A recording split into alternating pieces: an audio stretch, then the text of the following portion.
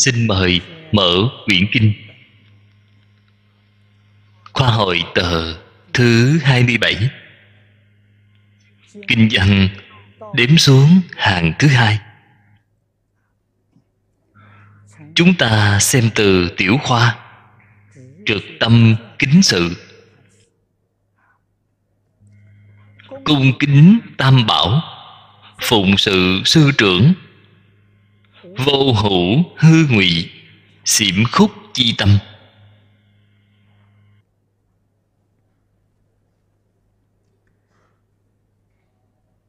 Kinh văn, tuy là chỉ có ba câu. Ba câu này là trung tâm của cả thảy. Tu học phật pháp.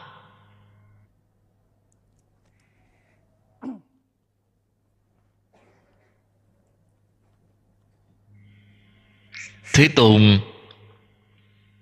ở trong kinh quán vô lượng thọ phật, vì chúng ta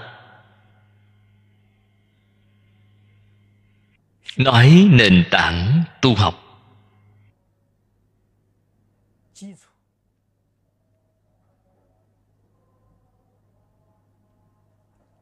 Ba đời chư phật cùng đồng cái nền tảng tịnh nghiệp tam phước.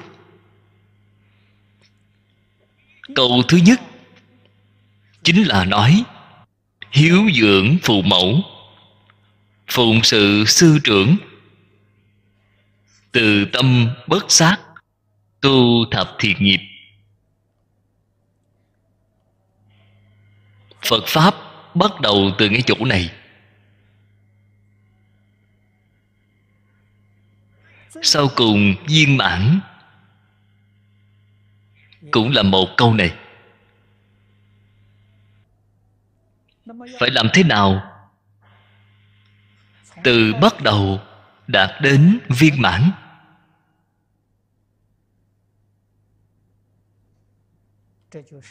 Việc này chính là ngày nay trong đây đã nói ba câu này.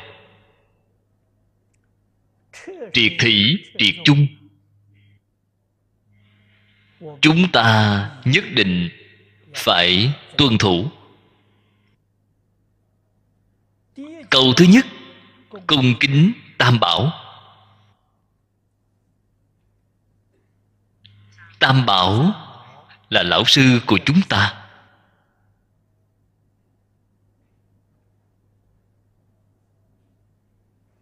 Nếu như không thể cung kính tam bảo hiếu thân cùng tôn sư thì sẽ không có. Cho nên người xưa, trắc nghiệm người học. Người đến tham học, xem qua người này, có thể có thành tựu hay không? Người ngày trước đã nói, người này có phải là có pháp khí hay không? Cũng là dùng lời hiện đại để nói. Họ có đầy đủ điều kiện để học phật hay không? Nếu như đầy đủ điều kiện để học phật con người này gọi là pháp khí. Họ ở ngay trong một đời có thể thành tựu. Nếu như không đầy đủ cái điều kiện này, thì họ không thể nào có thành tựu.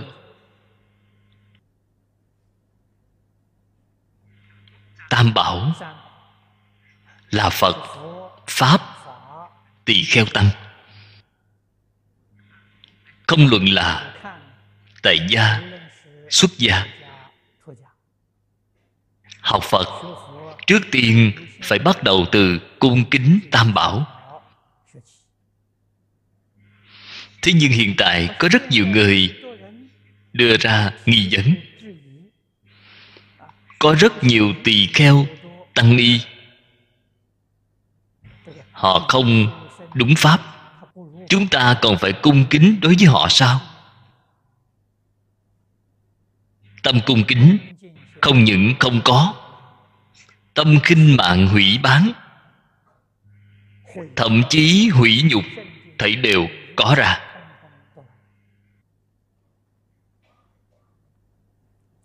Đây là sự thật xem thấy phổ biến trong xã hội của chúng ta ngày nay. Không hề sai. Người xuất gia làm ra không đúng pháp. Không liên quan với ta. Nếu ta muốn thành phật, ta nhất định phải cung kính. Họ là người ác họ ngày ngày làm việc xấu ngày ngày phá giới ngày ngày phạm quy. Ta còn phải cung kính đối với họ hay sao? Không hề sai, ta vẫn là cung kính đối với họ.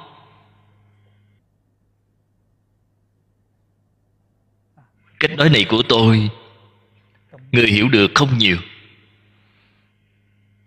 Mọi người nghe rồi đều cảm thấy mù tịch tại vì sao phải cung kính?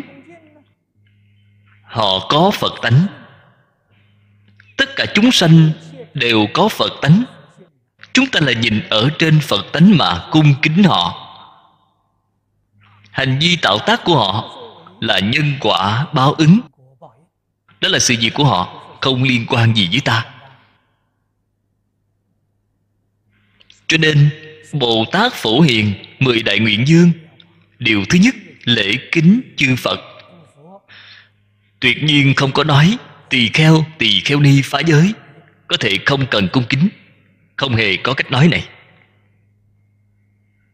Đã không có nói thì phải lễ kính bình đẳng.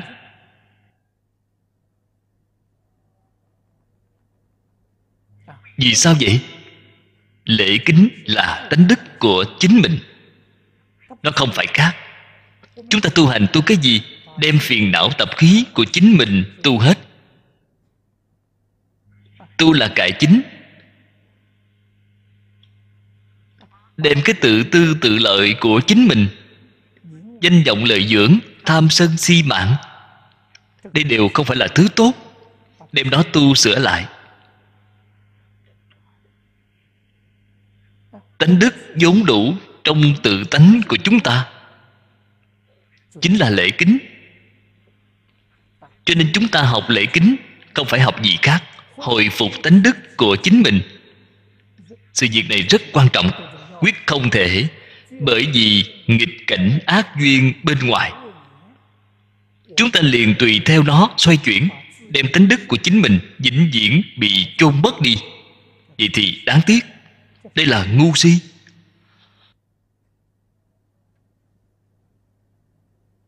Lại huống hồ, bạn nếu là chân thật y theo phương pháp này mà tu hành.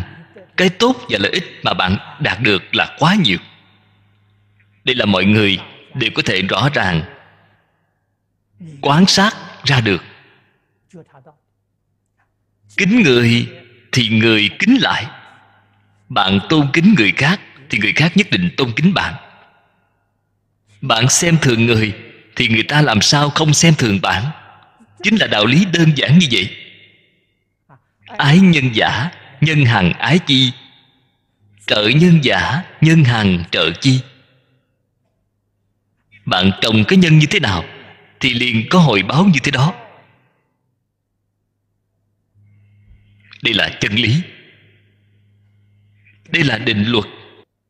Vĩnh viễn sẽ không thay đổi. Phật bồ tát cũng không thể nào thay đổi được định luật này phật dạy bảo chúng ta là chí thiện. Phật đối với tất cả chúng sanh chính là lễ kính. Không chỉ là dạy chúng ta cung kính tam bảo, chư phật như lai, các ngài dẫn đầu làm. Cho nên nhà phật thường nói, ngay trong mắt của phật, xem thấy tất cả chúng sanh đều là chư phật như lai lời nói này là thật, không giả chút nào. Trên phật kinh thường nói, ba đời phật, có quá khứ, phật hiện tại, phật vị lai. Những gì nào là phật vị lai, tất cả chúng sanh đều là phật vị lai. Cách nói này, thực tế mà nói là, phật phương tiện nói chúng ta nghe rồi, có thể tiếp nhận. Nếu như chân thật nói, chúng ta nghe rồi sẽ không hiểu. Phật ở kinh hoa nghiêm, kinh viên giác, nói tất cả chúng sanh vốn dĩ thành phật.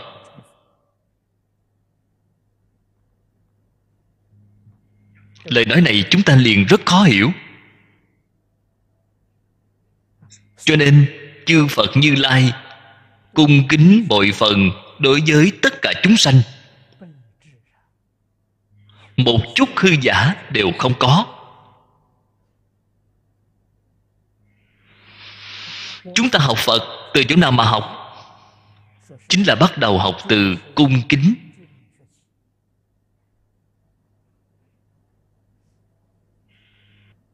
Bồ tát phổ hiền, mười đại nguyện dương, điều thứ nhất, lễ kính chư phật. Cái điều này chúng ta làm không được thì các điều khác đều không có mười nguyện cũng giống như tòa lầu mười tầng. Lễ kính là tầng thứ nhất. Không có tầng thứ nhất, các vị nghĩ xem thì làm gì có tầng thứ hai, thứ ba? Toàn bộ đều không có. Không chỉ phật pháp vào cửa từ lễ kính. Học vấn của thế gian cũng vào cửa từ lễ kính.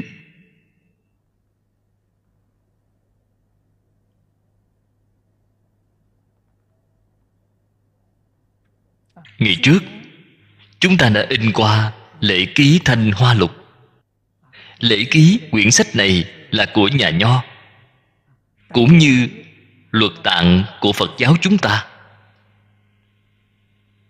Đó là luật tạng của nhà nho. Phân lượng quá lớn.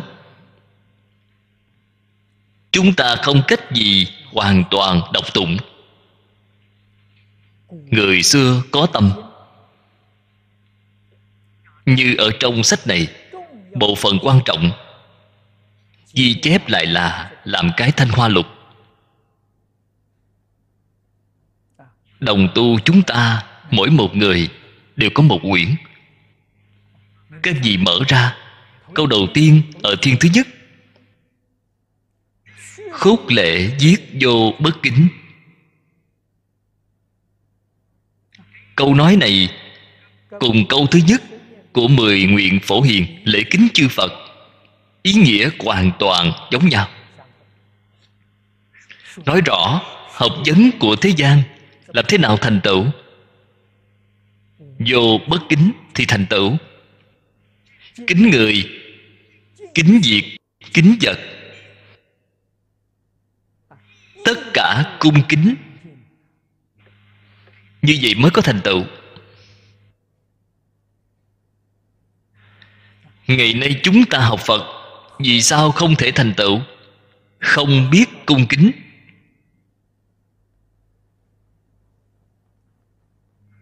Từ xưa đến nay,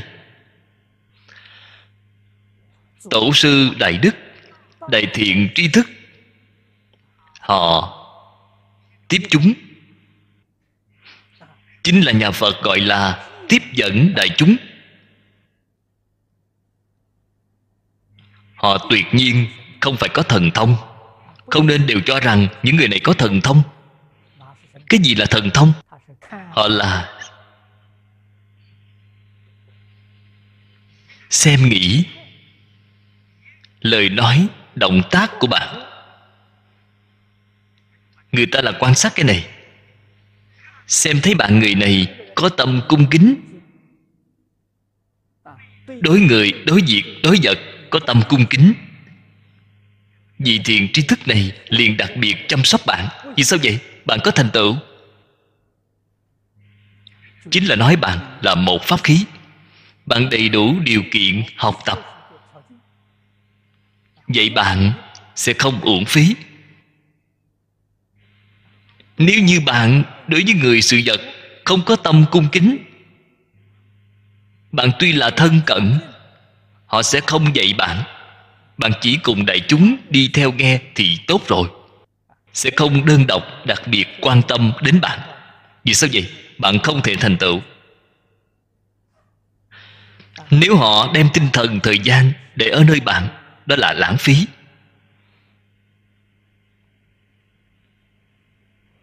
Chúng ta từ ngay chỗ này mà học được làm thế nào nhận biết một người. Nhận biết một người chân thật có thể có thành tựu. Chỉ quan sát họ, có kính ý đối với tất cả người, sự vật hay không? Có tâm cung kính hay không? Tam bảo. Tam bảo ở chỗ này rất là đơn giản. Cái đã chỉ chính là trụ trì tam bảo.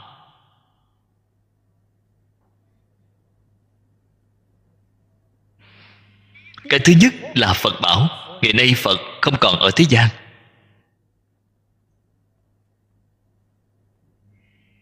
Sớm đã rời khỏi chúng ta. Thế nhưng, giáo hóa của phật vẫn cứ lưu truyền đến ngày nay. Cái giáo hóa này là kinh điển.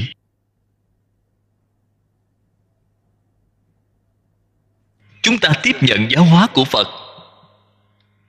Biểu thị cung kính, cảm ơn đội đức, đối với phật. Cho nên chúng ta tạo tượng phật.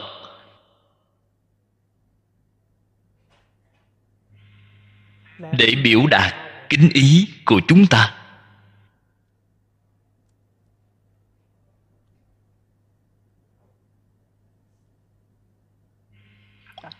Tượng phật có quy củ nhất định. Cái quy củ này ở trong đại tạng kinh. Có một bộ gọi là tạo tượng độ lượng kinh. Trong đây nói rõ, tạo hình tượng của phật, hình tượng của bồ tát, hình tượng của a la hán hình tượng của thần hộ pháp, rất nhiều rất nhiều.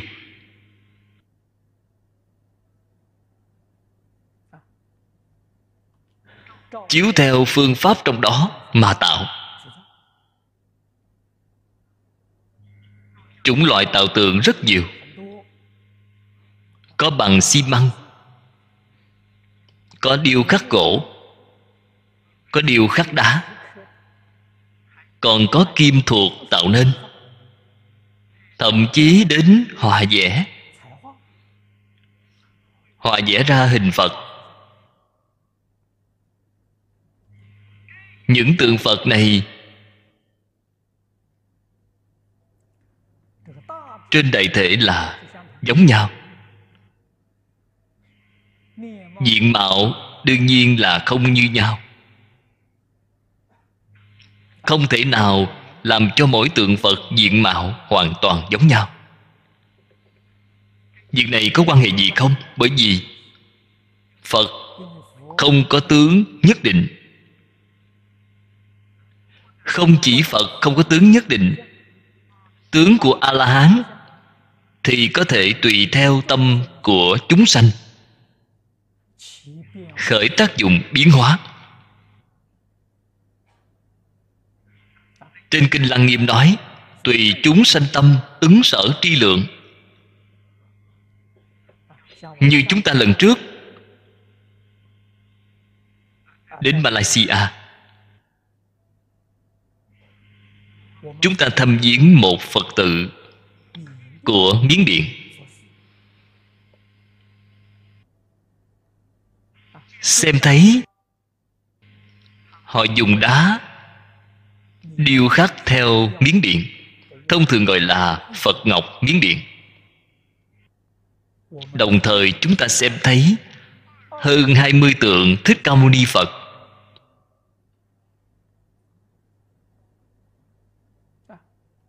diện mặt của thích ca mâu ni phật. Tượng thứ nhất là người ấn độ. Khuôn mặt của người ấn độ. Tượng thứ hai là người nepal. Từng tượng từng tượng mà xem chính là khuôn mặt của các dân tộc đông nam á khuôn mặt của người trung quốc chúng ta là xếp ở hàng thứ ba. Phía sau chính là hàn quốc, nhật bản. Mới biết được tướng mạo của phật bồ tát thật là thân thiết. Bạn là người ở nơi nào thì tướng mạo đó của ngài giống y như bạn, cùng đồng chủng tộc với bạn, cùng đồng một quốc gia, một chủng tộc. Cho nên tướng mạo của phật bồ tát là có thể thay đổi. Để bạn xem thấy rồi sanh tâm hoan nghỉ, một tổ tượng này vô cùng hiếm có.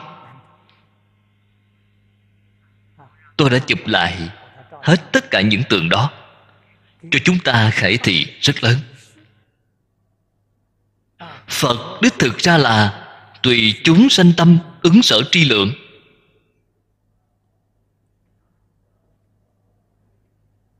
Không phải là không thể thay đổi. Thiên biến dạng hóa.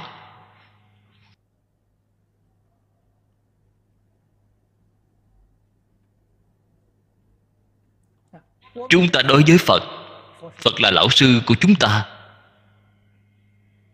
Ân huệ đối với chúng ta rất lớn không thể nào có thể so sánh được với ngài. Chúng ta nhận được giáo hóa của ngài mới có thể ở ngay trong một đời vĩnh thoát luân hồi. Vĩnh thoát sanh tử. Hiện tại cái thế gian này nhiều khổ, ít vui. Đại khái 90% là khổ. Vui chẳng quá chiếm 10% mà thôi. Đây là nói khu vực đông nam á này của chúng ta. Có rất nhiều khu vực bần cùng lạc hậu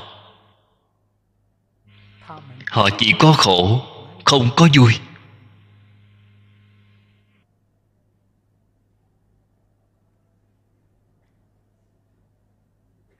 Chúng ta phải thường hay nghĩ đến, hôm nay còn có đồng tu đến nói với tôi.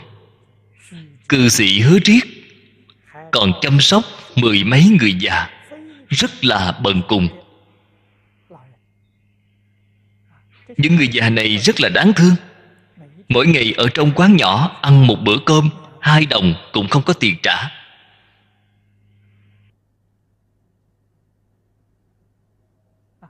Cư sĩ hứa triết giúp họ qua nghị tháng. Mỗi ngày cúng dường họ hai bữa cơm. Cơm trưa, cơm tối. Mỗi ngày bốn đồng.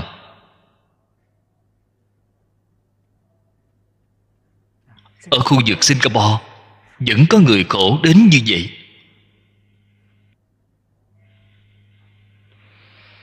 Nuôi những người già này, mười mấy người già, họ nói với tôi, mỗi năm phải hơn ba mươi ngàn. Chúng ta nghe rồi. Làm sao có thể không đưa tay ra cứu giúp?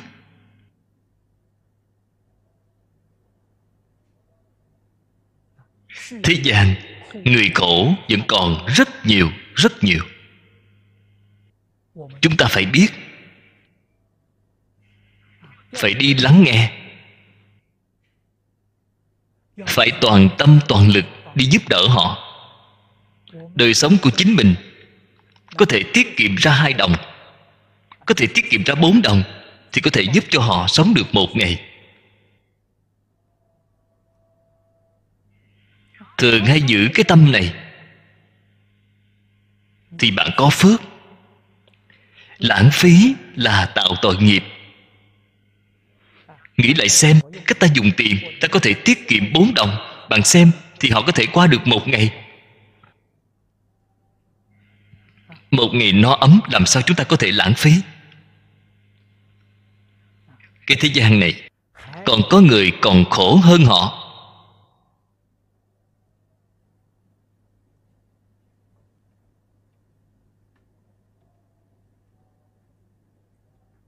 Hai tháng trước, tu nữ thiên chúa giáo đến đón với tôi. Phi châu, người bên đó rất khổ còn khổ hơn người già của singapore chúng ta.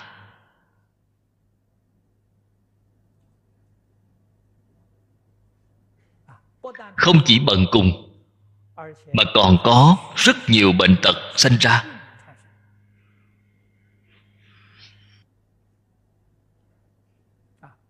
Chúng ta đối với những tu sĩ tu nữ này của thiên chúa giáo, chúng ta rất tôn kính. Họ ở bên đó. Làm việc đến 10 năm, 20 năm. Cứu tế những người khổ nạn này.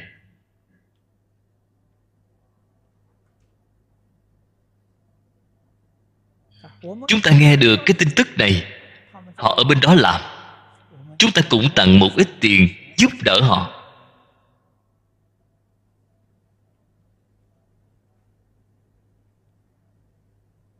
Có một số phật giáo đồ xem thấy chúng ta làm như vậy. Không cho là đúng. Cho là thế nào? Pháp sư, tiền của ông là mười phương cúng dường đến. Ông phải nên dùng vào trong phật pháp. Vì sao ông có thể đem đi giúp cho ngoại đạo? Tôi nghe được rất nhiều bạn nói tôi phải nên dùng vào trong phật pháp. Tôi là dùng ở trong phật pháp. Ông đem tiền cho các tôn giáo khác, làm sao mà dùng ở nơi phật pháp? Tứ hoàng thị nguyện, các vị đều đã đọc qua. Chúng sanh vô biên thệ nguyện độ. Câu nói này nói bằng cách nào?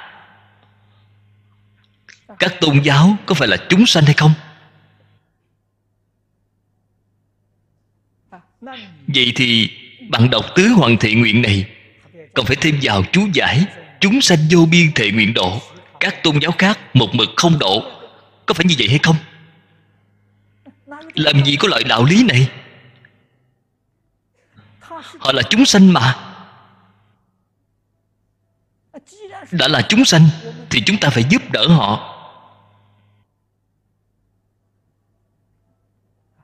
Bạn lại tỉ mỉ quan sát thích ca mâu ni phật. Thế tôn ngày năm xưa ở đời. Ngài không phải là một nhân vật khu vực, không phải một nhân vật của quốc gia. Ngài là nhân vật của thế giới. Chúng ta ở trên kinh điển thường hay xem thấy 16 vị đại quốc dương quy y hậu pháp.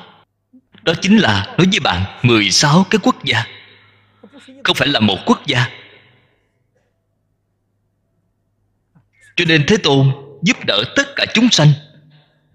Không phân cõi nước, không phân tộc loại, không phân tôn giáo. Một mực quan tâm, yêu thương, bình đẳng, giúp đỡ họ.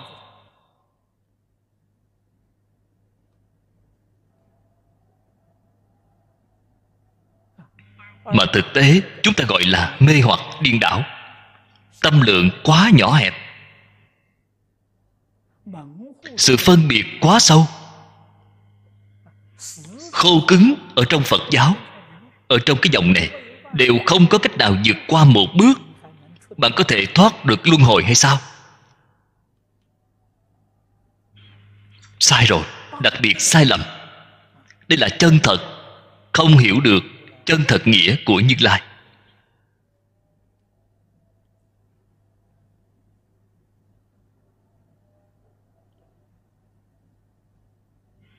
Cho nên chúng ta học phật, phải hướng đến thích ca mâu ni phật mà học tập. Chúng ta tạo tượng của thích ca mâu ni phật, mỗi niệm không quên, nhớ đến thế tôn ngài.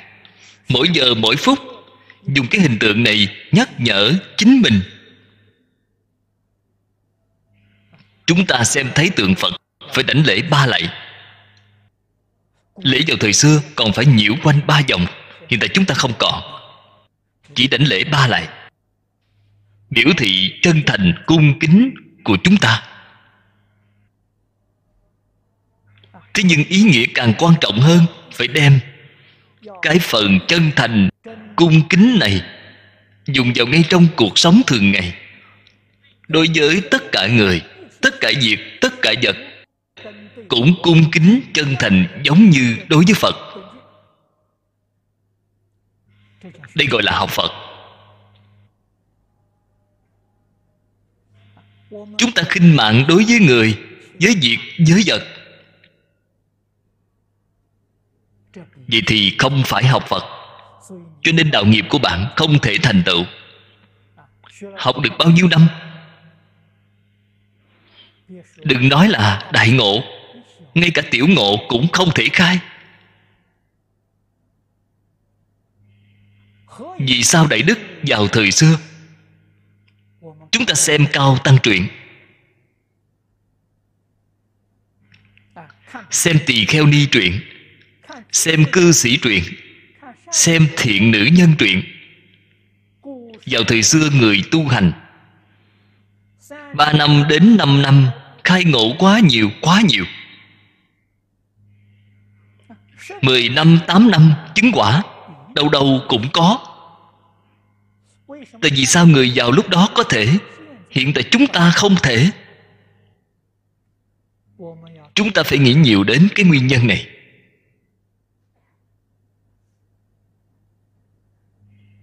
Nguyên nhân rốt cuộc ở chỗ nào?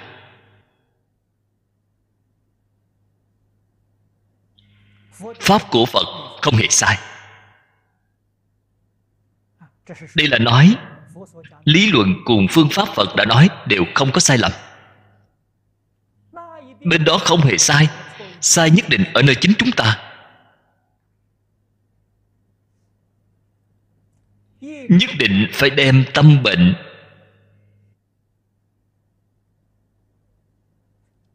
của chính mình tìm ra. Phật bồ tát từ bi sợ bạn tìm không ra. Ở trong kinh giáo, mỗi giờ, mỗi phút nhắc nhở chúng ta. Chúng ta cũng mỗi ngày đều đang đọc tụng. Thậm chí một ngày trùng lập lại nhiều lần. Thế nhưng vẫn cứ là trơ trơ, không cảm giác. Vậy thì còn cách nào chăng? Loại hiện tượng không cảm giác này chính là trong phật pháp thường nói, nghiệp chướng quá nặng.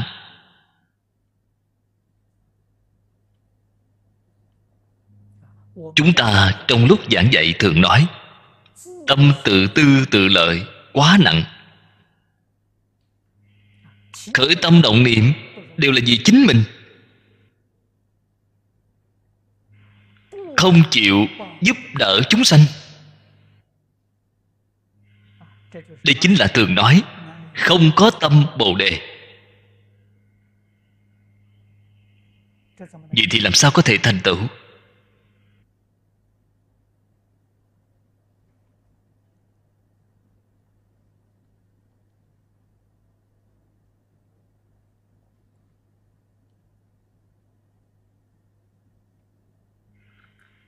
Không phát tâm bồ đề ngày ngày đi theo phật cũng không lợi ích gì, cũng không thể thành tựu. Không cần nói phật, chúng ta đi xem lục tổ đàn kinh. Đây là tổ sư.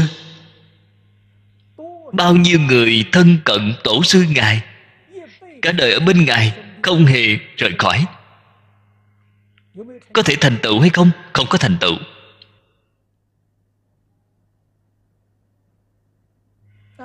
Cũng có người chân thật thành tựu. Ngay trong một đời, chỉ cần thời gian một ngày, thân cận tổ sư ngài.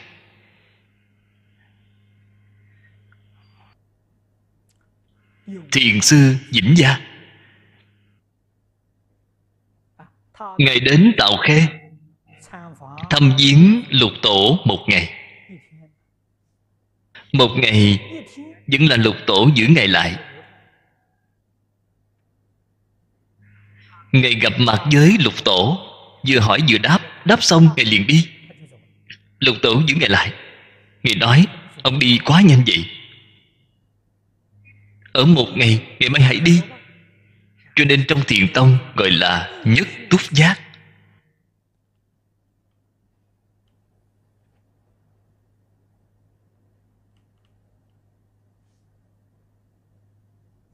Do đây có thể biết người chân thật thành tựu, có cần ở trước mặt lão sư không? Không cần. Thân không cần, tâm cần. Tâm theo tâm của lão sư, đồng tâm, đồng nguyện, đồng đức, đồng hạnh. Đó là chân thật đang ở chung. Ngày ngày ở bên cạnh lão sư, tư tưởng kiến giải, ngôn hạnh hoàn toàn không như nhau. Cả đời cũng không cách gì thành tựu.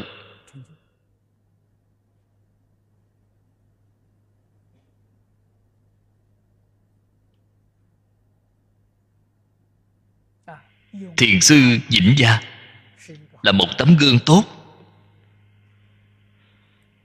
Hiện tại, tôi ở singapore giảng kinh dạy học. Tôi biết, cũng có rất nhiều người không ở singapore. Họ học được chân thật có thành tựu. Họ học được từ chỗ nào vậy? Học được từ trên mạng. Tôi ở singapore mỗi một lần diễn giảng. Họ đều ở trên mạng thu nghe. Họ có thành tựu.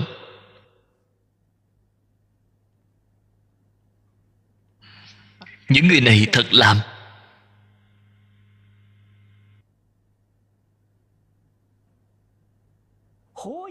Vì sao họ có thành tựu? Họ có tâm cung kính tam bảo. Then chốt chính ở một câu này.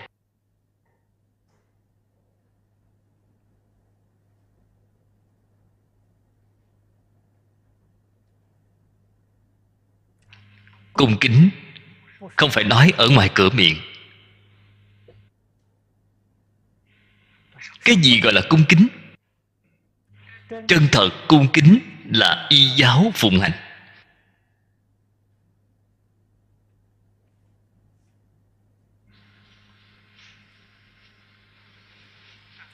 Cái phật bảo này, ngày ngày là phật tượng. Phật ở đời tam bảo lấy phật làm trung tâm. Sau khi phật diệt độ tam bảo lấy pháp làm trung tâm.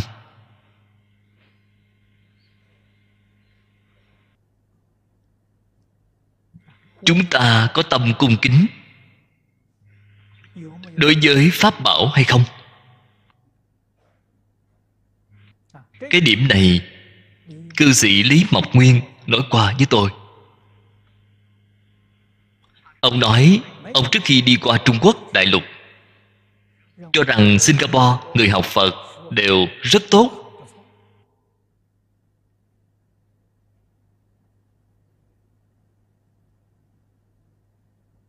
Tương đối cung kính đối với tam bảo. Sau khi đến đại lục thăm viếng mới biết được,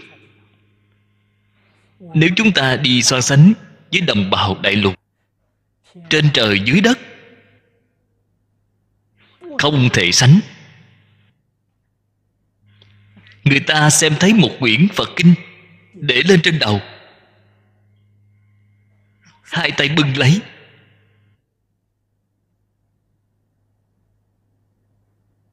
Pháp bảo đối với họ mà nói, quá hy hữu, quá trân quý.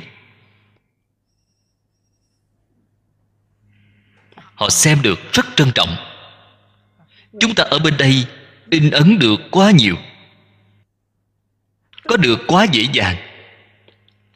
Không hề đem nó xem là quan trọng.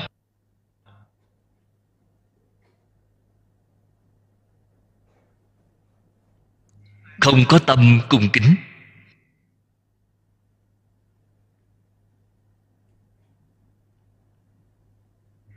Cho nên thành tựu của chúng ta không thể sánh được với người bên đó.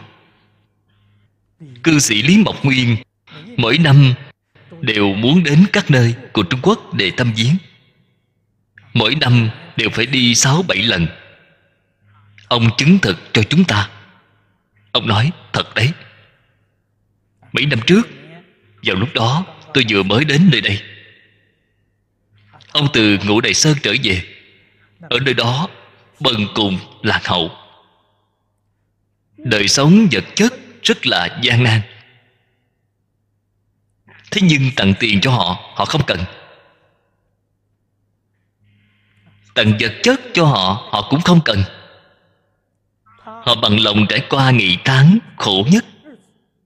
Họ cần cái gì? Họ cần pháp bảo. Cho nên bạn tặng kinh sách tặng băng ghi hình hiện tại tặng vcd họ đội ở trên đầu mà tiếp nhận. Xem thấy họ, loại chân thành cung kính đó. Chúng ta sanh tâm hổ thẹn.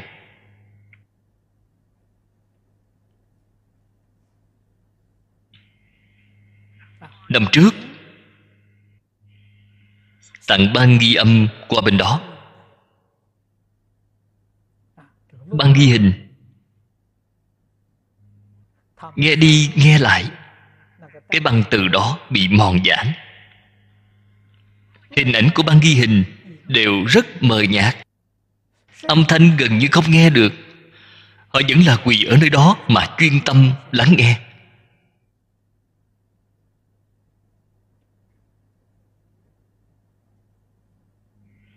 Chúng ta từ ngoài đến xem thấy cái cảnh tượng này trong lòng rất đau xót, rơi lệ nghĩ lại chính chúng ta, có được quá dễ dàng. Không hề có ý niệm trân trọng. Bạn làm sao có thể so được với người ta?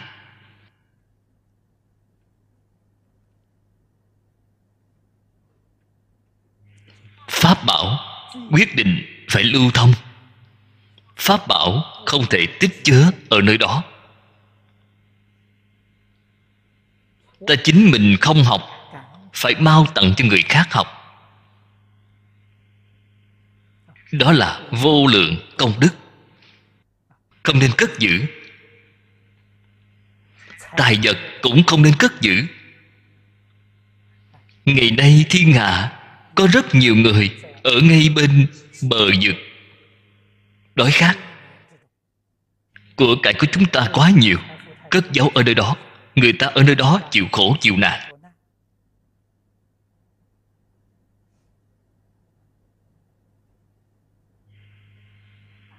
Phải nên đem của dư ra cứu giúp cho họ.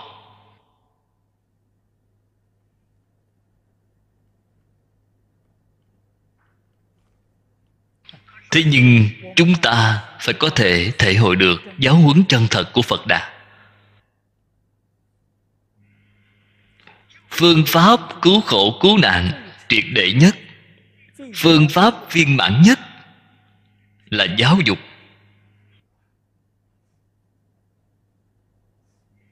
Nếu người không nhận qua giáo dục, không có trí tuệ, không có năng lực,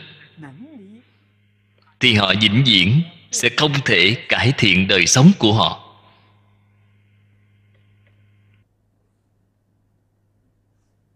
Người có từ bi hơn, cứu họ một đời, nuôi họ một đời. Cũng không có ý nghĩa quá lớn. Nhất định phải dạy họ, giúp đỡ họ khai trí tuệ, giúp đỡ họ đạt được kỹ năng. Họ không những cải thiện đời sống của họ, đồng thời họ cũng có thể đối với xã hội, đối với chúng sanh, có cống hiến chân thật. Đây mới là cứu tế triệt để.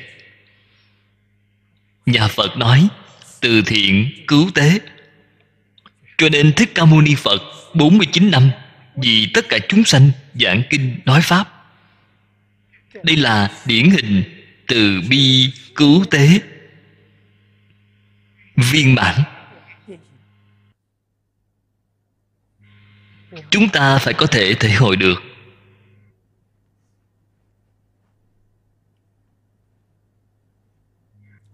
Gần đây,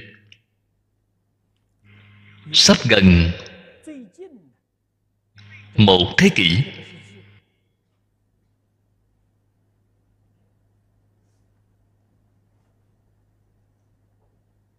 nhất là nửa thế kỷ gần đây. Sau khi đại chiến thứ hai kết thúc, khu vực quốc gia thông thường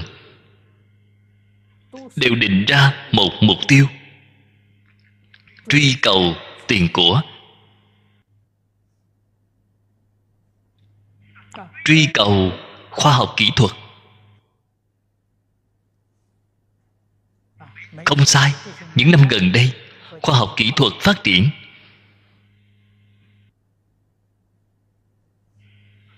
Có bao nhiêu khu vực thu hoạch được tiền của?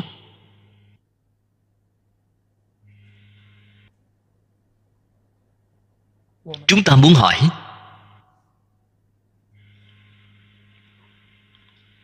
cách làm này của họ có đích thực chính xác hay không? Truy cầu tiền của thì họ được tiền của.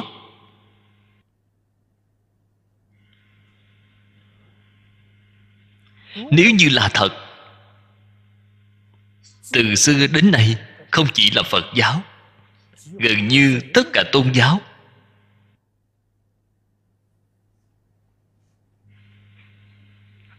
Giáo huấn của cổ thánh tiên hiền nói cho chúng ta nghe định luật nhân quả. Chẳng phải đã bị lật đổ rồi sao? Cho nên hiện tại người thế gian này không tin tưởng có nhân duyên quả báo. Cho rằng cái gì? Tiền tài là họ sáng tạo ra. Khoa học kỹ thuật là họ phát minh ra. Nhân quả báo ứng, cái cách nói này, đó chính là chính sách ngu dân của người xưa lừa gạt chúng sanh. Một mực đem nó phủ định. Chúng ta nghe qua lời nói của họ. Như phải mà quấy. Vì sao nói như phải mà quấy? Nếu như nói cái tiền tài này, có thể truy cầu mà được có người kinh doanh phát tài. Tại vì sao có người kinh doanh thất bại? Cũng đồng là người có thông minh trí tuệ. Cũng đồng là người từ nơi một cái nghề nghiệp này. Tại vì sao có người thành công, có người thất bại? Nếu như tiền của là do chúng ta sáng tạo ra, phải là mỗi một người sáng tạo đều thành công, không thể nào có một người thất bại. Tất nhiên thành công ít thất bại thì nhiều.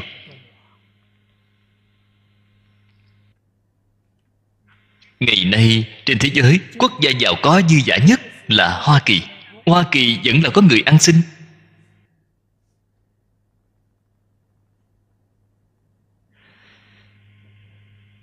Chúng ta ở hoa kỳ vẫn gặp được đã bố thí cho họ.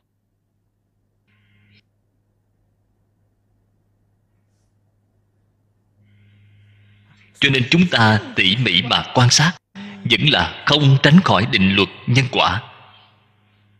Phát tài. Trong mạng bạn có tiền tài.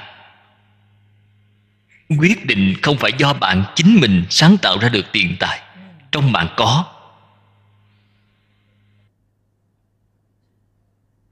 Trong bạn không có, cùng làm một nghề nghiệp giống như bạn.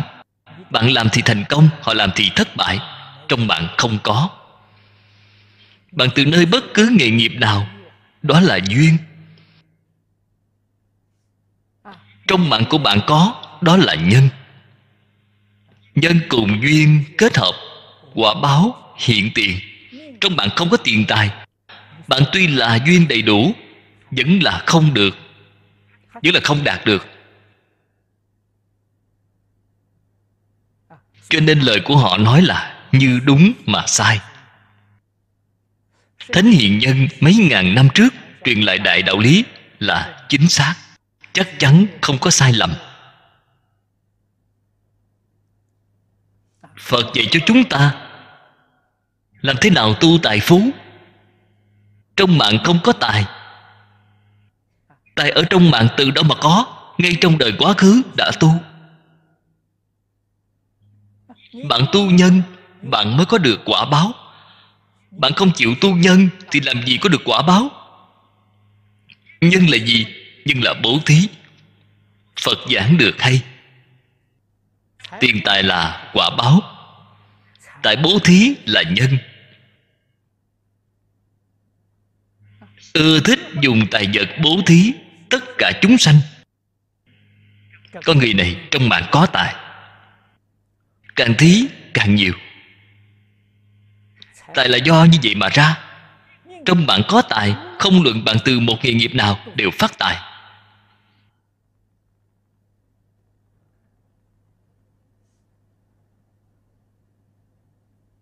Bạn phát tài, còn chịu bố thí tài. Vậy thì tài trong mạng này của bạn thì quá nhiều rồi. Thông minh trí tuệ là quả báo. Pháp bố thí là nhân.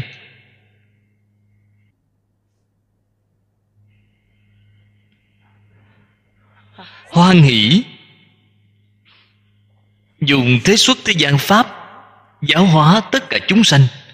Con người này có trí tuệ, được thông minh trí tuệ. Khỏe mạnh sống lâu là quả báo, vô úy bố thí là nhân. Cho nên con người chỉ cần chịu tu ba loại nhân này, bạn nhất định sẽ được quả báo tiền tài, thông minh, trí tuệ, khỏe mạnh, sống lâu. Trong đời quá khứ không có tu, hiện tại tu vẫn có thể kịp.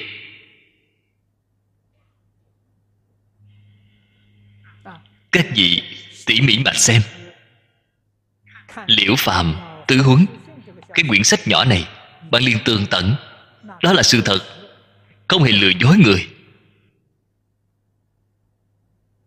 Liễu phàm ba thứ này đều đầy đủ.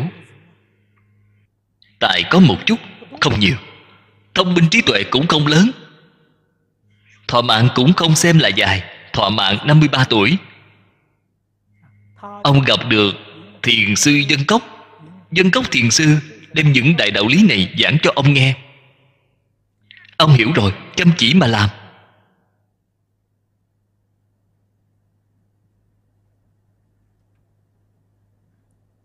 Cho nên ông ứng nghiệm nhà phật, đã nói, phật thị môn trung, hữu cầu tác ứng. Tài phú mà ông có được, vượt qua trong mạng của ông. Thông minh trí tuệ, khỏe mạnh sống lâu, thấy đều vượt qua. Thọ mạng của ông chỉ có 53 tuổi, ông đã sống hơn 70 tuổi, sống thêm được hơn 20 năm. Ngay đời này tu được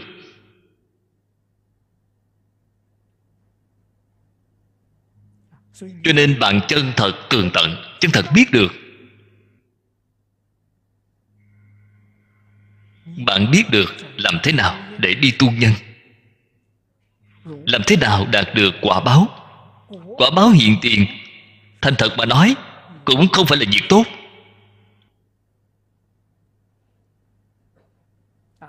Vì sao vậy? Có rất nhiều người bị quả báo làm cho đầu óc bị mờ mịt rồi. Khi chưa phát đạt, thì ít làm việc xấu. Sau khi phát đạt,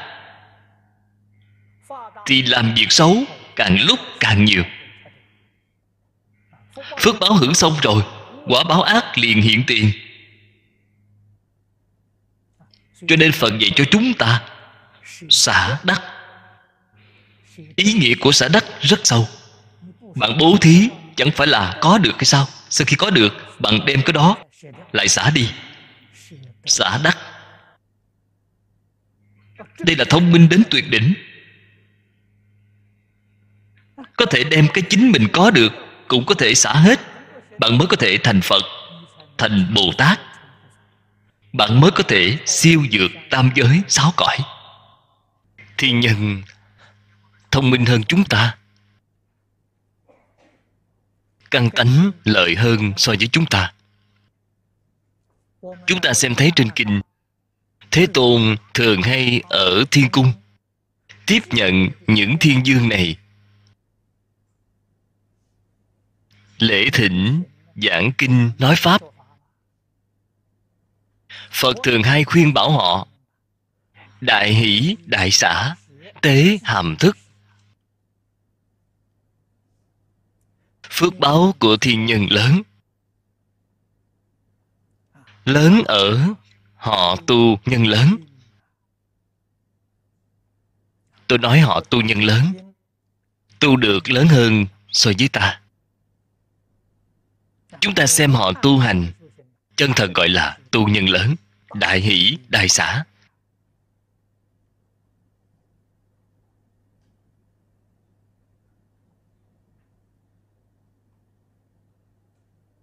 Tôi giàu hơn.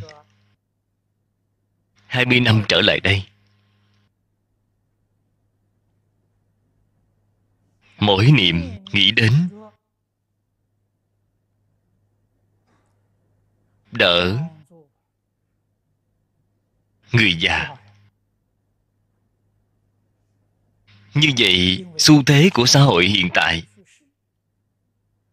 chân thật tu hành nhất định phải sau khi thoái hưu. Vì sao vậy? Dạng duyên buông xả. Tâm của bạn là định. Khi còn trẻ, bạn có công việc. Lo lắng của bạn rất nhiều. Suy nghĩ của bạn rất phức tạp. Bất lợi ở tu hành. Tu hành nhất định phải sau khi thoái hưu. Con cái của bạn đã trưởng thành nam cưới nữ gả. Sự nghiệp cũng đều có người kế thừa.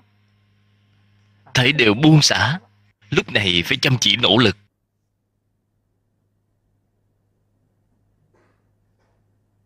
Cho nên tôi ở hoa kỳ, xem thấy khu nhà dưỡng lão của hoa kỳ, tôi rất là thích. Xem thấy thôn nghỉ hưu của úc châu cho nên tôi liền có cách nghĩ đến thôn di đà này. Các vị phải nên biết, tôi chỉ là nghĩ, không tưởng mà thôi.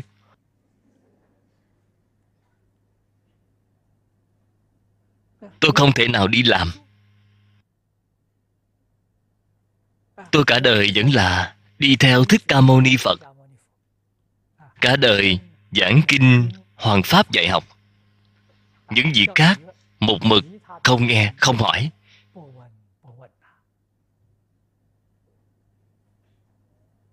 Nếu như hỏi đến gì khác, thì công tác hoàng pháp dạy học của tôi nhất định liền bị chướng ngại. Nếu như thế gian này người hoàng pháp dạy học nhiều, thì tôi sẽ đi làm thôn di đà. Vì sao vậy? Có người làm. Hiện tại hoàng pháp không có người làm. Tôi không làm vì tìm không được người, đây là bức bách không còn cách nào.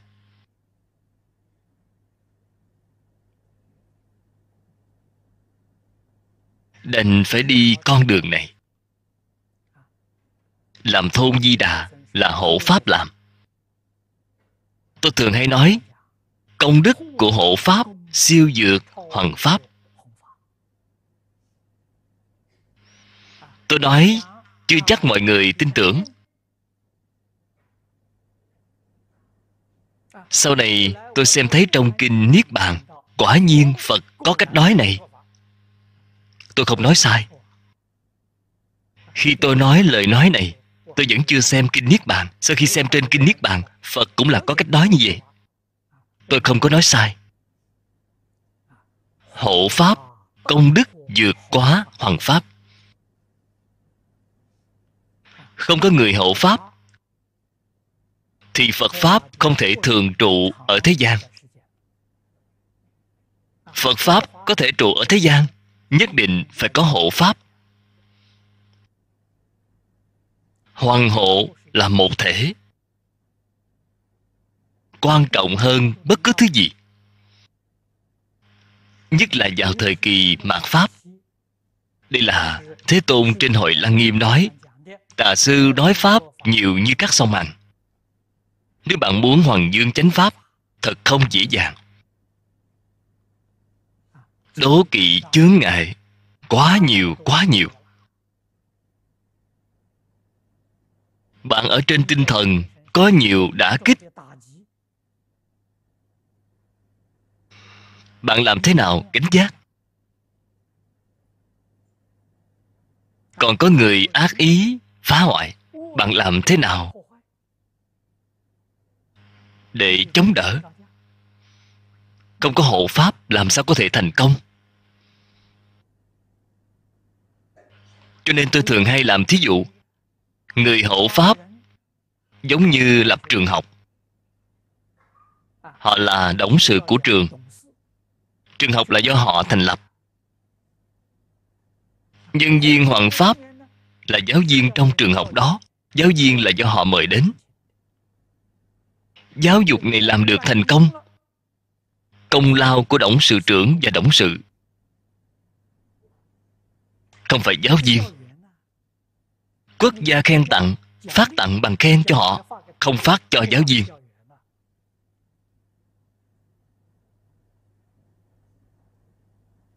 Chúng ta xuất gia giảng kinh nói pháp là làm giáo viên. Không phải làm đồng sự, không phải làm đồng sự trưởng.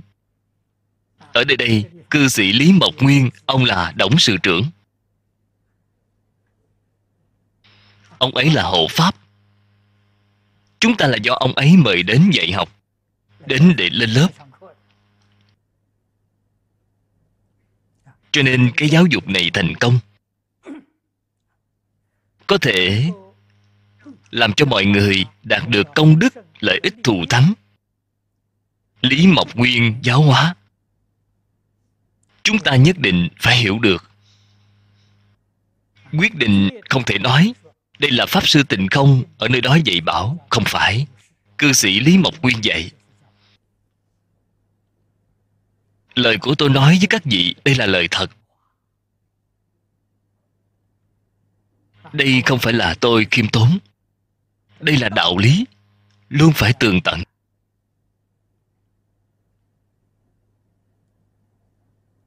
Không có ông ấy. Trụ trì cái đạo tràng này, họ không mời chúng ta đến chỗ này. Chúng ta làm sao có thể đến nơi đây để hoàn pháp? Làm sao có thể đến nơi đây để dạy học? Cái lớp bồi dưỡng nhân tài hoàng pháp cũng là tôi ở trong lúc giảng kinh đột nhiên nghĩ đến. Cho nên tôi chỉ biết nói, ông nghe rồi, ông liền thật làm ông liền thật thành lập một lớp bồi dưỡng. Vậy là tốt rồi, tôi liền bị ông ấy buộc chặt. Đành phải ở nơi đây thời gian dài để giúp đỡ ông ấy. Đây gọi là tùy duyên, không phải phan duyên. Nếu như chúng ta chính mình ra bên ngoài lo lắng, trù bị để làm cái lớp bồi dưỡng này, đó chính là chúng ta phan duyên. Phan duyên rất khổ cực tùy duyên, rất tự tại. Chúng ta nói qua thôn di đà. Ông ấy thật đi làm thôn di đà. Làm được rất khổ cực. Ba lần cơ hội rồi. Chúng ta đều chưa thể đạt được. Hiện tại sau cùng, một biện pháp bất đắc dĩ. Các vị xem thấy, ngày nay các vị từ lầu một đến. Lầu một có khoảng đất trống. Trước đây nơi đó là chỗ chất mì. Hiện tại dọn đi rồi chuẩn bị xây ở nơi đó. Tôi nghe nói phải xây lầu 7 tầng hoặc là 8 tầng lầu. Xây lên rồi. Trên giảng đường này của chúng ta lại xây lên thêm hai tầng nữa. Là dự tính của ông, tương lai có thể ở bốn năm trăm người. Đất ở singapore không dễ tìm được. Tìm qua một năm rồi, khắp nơi đi tìm. Sau cùng thương lượng không thành công rất không dễ gì tìm được đất trống. Đây là biện pháp bất đắc dĩ, đem cư sĩ lâm xây cao lên, phát triển hướng lên không trung. Ngày 26 khai công, Sắp tới rồi, Hôm nay là ngày mấy rồi, Hôm nay là 21 rồi. Ngày 26 là qua 5 ngày nữa. Qua 5 ngày nữa thì khai công rồi, Cho nên tôi hôm nay Khi vừa bước vào Hy vọng mọi người đều có thể cẩn thận hơn một chút. Bởi vì Bên dưới đó là kho chứa gạo cùng mì. Còn có rau cải. Nhất định phải cách ly đó ra. Bởi vì sau khi khai công, bụi nhất định là khó tránh. Phải phòng tránh bụi bặm. Do vì đó đều là thức ăn. Phải đặc biệt chú ý đến ngày 26 là khai công rồi. Tương lai sẽ đến tầng thứ năm. Cái giảng đường này của chúng ta sẽ bị chút ảnh hưởng. Cư sĩ lý mộc nguyên cũng đã nghĩ đến, tương lai sẽ đến tầng thứ năm. Chúng ta sẽ dời xuống lầu 4 để giảng kinh. Niệm phật thì dời xuống đại điện bên đó để niệm. Đợi đến khi họ xây đến lầu 7 chúng ta sẽ quay trở lại đây giảng kinh đây là một biện pháp tạm thời. Cho nên phải xem trọng đối với pháp. Sau khi phật diệt độ trung tâm của tam bảo,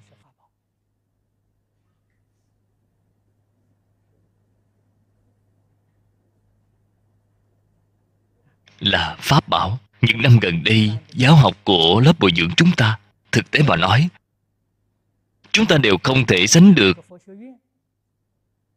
với bất cứ một phật học viện nào. Không thể sánh được với người.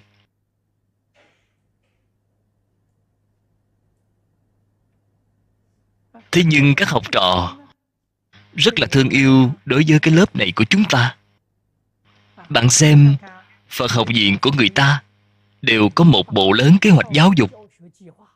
Cái gì là phương châm giáo học? Một đống lớn văn kiện. Chúng ta không có bất cứ thứ gì. Khi người ta hỏi tôi cần tư liệu, tôi không có bất cứ thứ gì.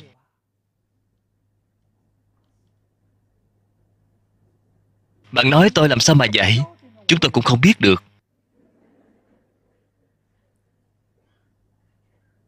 Chúng ta là từ xưa đến nay, đời đời truyền nhau. Phương pháp cũ phương pháp này bắt đầu từ ai? Tôn giả a nan bắt đầu. Chúng ta là phương pháp này. Tập giảng tiểu tòa. Chúng ta là biện pháp này mà học thành. Tôn giả a nan kết tập kinh tạng chính là giảng lại tiểu tòa. Cho nên tập giảng tiểu tòa là phật giáo đời đời truyền thừa. Bồi dưỡng nhân tài hoàng pháp, bắt đầu từ nơi tôn giả a nan mấy ngàn năm không hề thay đổi. Chúng ta học là phương pháp cũ. Tôi ở đài trung, cùng học với lão cư sĩ lý bình nam 10 năm. Tập giảng tiểu tòa. Lão sư lý, mỗi một tuần giảng kinh một lần. Mỗi thứ năm giảng kinh một lần. Mỗi thứ sáu giảng cổ văn một lần. Tác phẩm của nhà nho.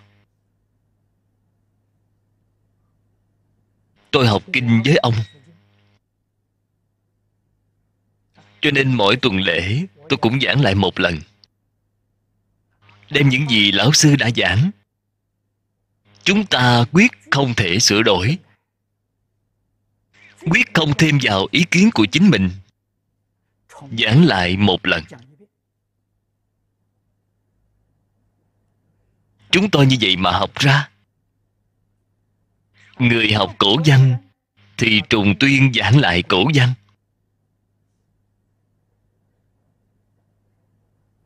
Đây là phương pháp giáo học của trung quốc cổ xưa phương pháp dạy tư thục. Phương pháp tú tài nghèo dạy tư thục không phải phương pháp mới, phương pháp cũ. Phương pháp cũ này có hiệu quả hơn phương pháp mới. Việc này hiện tại mọi người đều thể hội được. Phương pháp cũ có hiệu quả. Có hiệu quả rất thù thắng. Học kinh giáo chỉ có thể học một môn, gọi là một môn thâm nhập. Từng biến từng biến mà học tập nhiều lần. Nghiêm khắc mà nói, đến lúc nào thì mới có thể lướt qua tất cả các kinh luận khác. Tiêu chuẩn là khai ngộ. Không khai ngộ thì không được.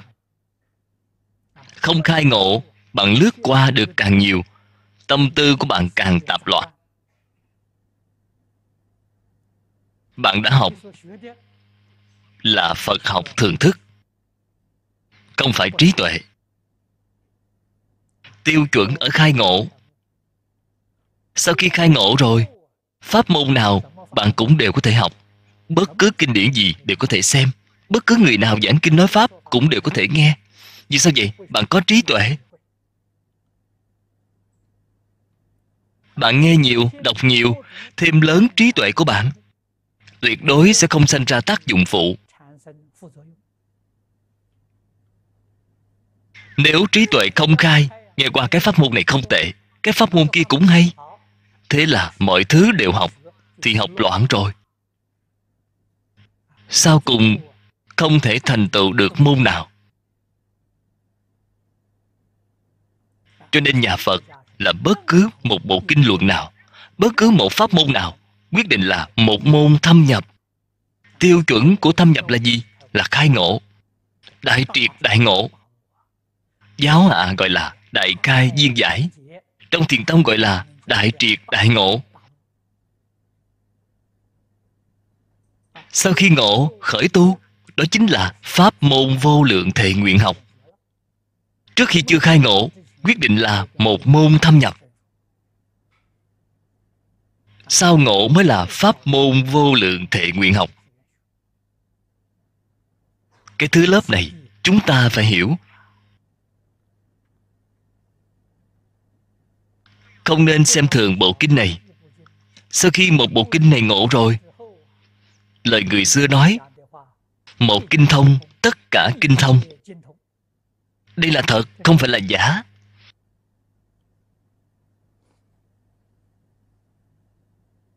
Tôi ở đại trung, theo lão cư sĩ lý bình nam 10 năm. Tôi 10 năm chỉ học năm bộ kinh. Đó xem là rất đặc thù rồi. Người khác thì lão sư không đồng ý. Tôi còn học được năm bộ. Năm bộ phân lượng đều không lớn. Bộ kinh thứ nhất a nan vấn sự phật kiết hung kinh. Dường như là thường khi giảng. Đây là bộ kinh điển thứ nhất tôi học. Bộ thứ hai là phật thuyết a di đà kinh. Bộ thứ ba là phổ hiền bồ tát hạnh nguyện phẩm. Chính là một quyển biệt hành lưu thông cái quyển này. Bộ thứ tư là kinh kim cang. Bộ thứ năm là kinh lăng nghiêm.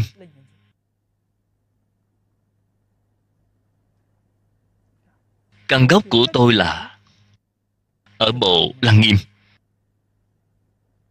Dùng công phu rất sâu. Đây là 10 năm ở Đại Trung. Kinh Hoa Nghiêm. Tôi thỉnh Lão Sư Lý giảng Đó là tám bạn cùng học. Khởi phát thỉnh Lão Sư Ngài giảng bộ kinh này. Giảng kinh này là do nguyên nhân gì? Có một lần, Ngài diễn giảng ở thôn Trung Hưng Tân. Chúng tôi là chúng thường tùy. Lão sư đến nơi nào chúng tôi đều là đi theo đến nơi đó. Không rời khỏi bước nào. Ngài ở ngay trong lúc diễn giảng. Nói ông sanh tử tự tại. Muốn ở thêm vài năm Thì ông có thể làm được. Muốn lúc nào giảng sanh Thì ông cũng có thể làm được. Chúng tôi nghe rồi, rất kinh ngạc. Vì sao vậy? Nếu như ông không có cái công phu này, Ông nói lời nói này là đại giọng ngữ. Đại giọng ngữ là đọa A tỳ địa ngục. Lời nói này không thể tùy tiện nói. Sau khi chúng ta nghe rồi, Tôi tìm mấy vị đồng học, Thương lượng. Lão sư, có cái công phu này, chúng ta muốn ngài thường trụ thế gian. Thường trụ thế gian thì phải làm sao? Tìm bộ kinh lớn bộ kinh lớn nào dài, để ngài từ từ giảng, trái lại ngày một tuần lễ giảng một lần. Cho nên chúng tôi tám người bạn cùng học, cùng nhau mời ngài giảng kinh hoa nghiêm vào lúc đó trên tay tôi có một bộ hoa nghiêm kinh sớt sao. Sách đóng bìa của đại sư thanh lương 40 tập. Tôi đem sách này cúng dường lão sư.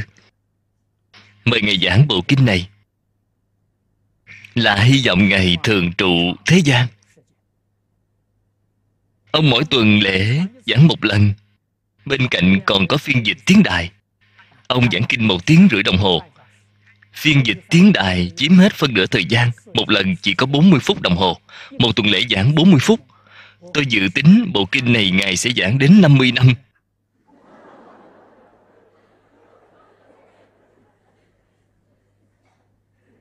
Cho nên mục đích là muốn ngài thường trụ. Tôi đi nghe kinh. Tôi nghe được một quyển. Kinh hoa nghiêm tôi nghe qua quyển thứ nhất, phía sau không cần nghe tôi đều biết giảng rồi. Cho nên ngày giảng ở đài trung, tôi giảng ở đài bắc. Đây chính là nói rõ, một kinh thông, tất cả kinh thông. Tôi nghe một quyển, nghe qua lão sư cái cách giảng thế nào, tôi liền tường tận. Bởi vì mở đầu của kinh hoa nghiêm rất không dễ dàng. Vừa mở đầu, kinh văn không phải ngắn tổng cộng kinh văn có 11 quyển rưỡi. Kinh văn này thực tế mà nói, giảng không ra ý nghĩa nào. Giảng đến sẽ làm cho người nghe ngủ gật.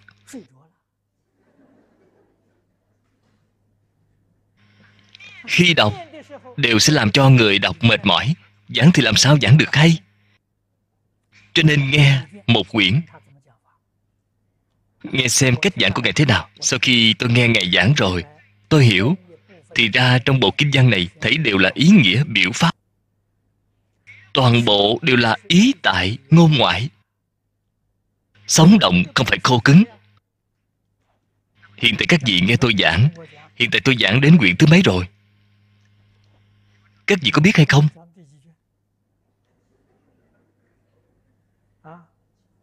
Giảng đến quyển thứ mấy rồi? Quyển thứ năm mà quyển thứ bảy. Hiện tại tôi giảng quyển thứ bảy.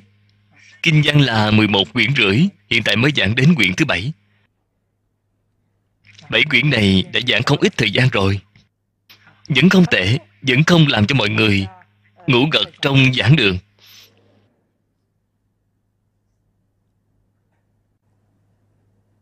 Phía sau liền có dị đạo cái giai đoạn này qua đi rồi. Giải phân. Vậy thì rất là thú vị. Đến đoạn sau thì dễ dàng, khó giảng nhất là phần mở đầu. Đại đức học hoa nghiêm đều cảm giác rất khó giảng. Tôi năm xưa khi ở đài bắc giảng hoa nghiêm đại bắc có một vị lão pháp sư, lão pháp sư nam đình của hoa nghiêm liên xã. Vì lão pháp sư này rất rất khó được. Là một vị trưởng giả. Rất là thương yêu đối với tôi. Khi tôi mới học phật, làm cư sĩ, thường hay thân cận vì lão pháp sư này, nghe ông giảng kinh. Tôi năm đó giảng kinh hoa nghiêm ở thành phố đại bắc. Ông đã từng hỏi, lão cư sĩ triệu mặt lâm lão cư sĩ triệu này ngày ngày đến nghe tôi giảng. Ông hỏi triệu lão, ông hỏi phía trước kinh hoa nghiêm, pháp sư tình không có cách giảng như thế nào? Thật khó giảng.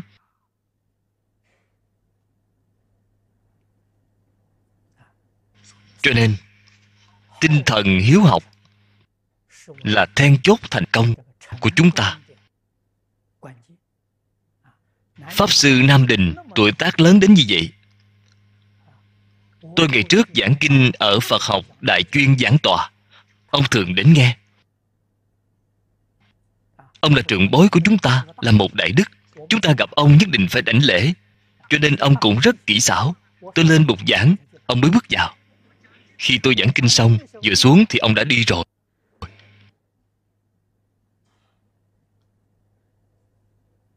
Trước sau, ông không để tôi đánh lễ ông cho nên đây là thương yêu bội phần đối với hậu bối. Chúng ta rất là tôn kính đối với ông. Đây là nói, pháp bảo chúng ta phải xem trọng, phải chăm chỉ nỗ lực học tập mới gọi là chân thật cung kính.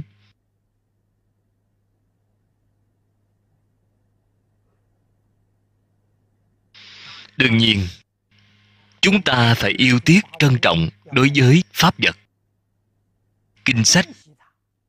Đây là việc nên làm, càng quan trọng hơn. Phải vận dụng nó một cách thỏa đáng, thành tựu trí tuệ của chính mình. Việc này không thể không biết. Thứ ba, tăng bảo. Tăng bảo là người xuất gia.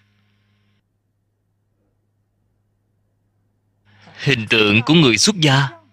Rất đáng quý.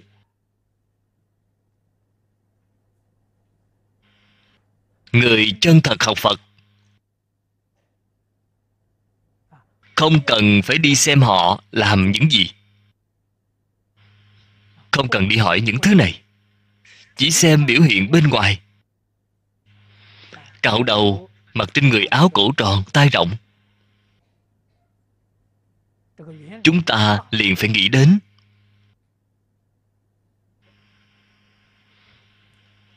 Tăng là ý nghĩa gì? Làm thế nào thực tiễn nó vào ngay trong đời sống của chính mình? Khi các vị thọ tam quy đều đã đọc qua quy y tăng, chúng trung tôn. Nhà phật gọi là chúng, hiện tại chúng ta gọi là đoàn thể. Con người không thể tách khỏi đoàn thể. Để độc lập sinh sống, đoàn thể nhỏ nhất là gia đình. Vợ chồng, con cái, gia đình nhỏ trong gia đình lớn, còn có cha mẹ hoặc là có ông bà nội. Anh em chị em, anh chị em họ thành một gia đình lớn. Đó là một đoàn thể tương đối lớn. Quốc gia, đây là đoàn thể thế gian lớn nhất. Chúng là ý nghĩa của đoàn thể. Chúng trung tôn chính là thế gian bao gồm trong tất cả đoàn thể là một đoàn thể đáng được người tôn kính. Vì sao vậy? Đó là đoàn thể hòa thuận, gọi là hòa hợp tăng. Cái đoàn thể này tuân thủ sáu giới điều mà thích ca mâu ni phật đã nói, gọi là lục hòa kính. Cái đoàn thể này ở trên kinh phật thường nói, chư phật hộ niệm, long thiên thiện thần cung kính ủng hộ.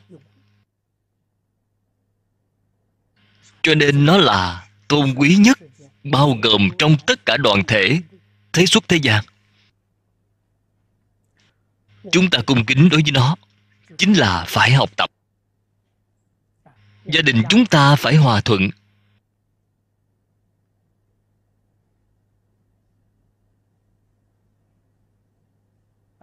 Chúng ta ngày nay, hoặc là kinh doanh một công ty hàng hiệu.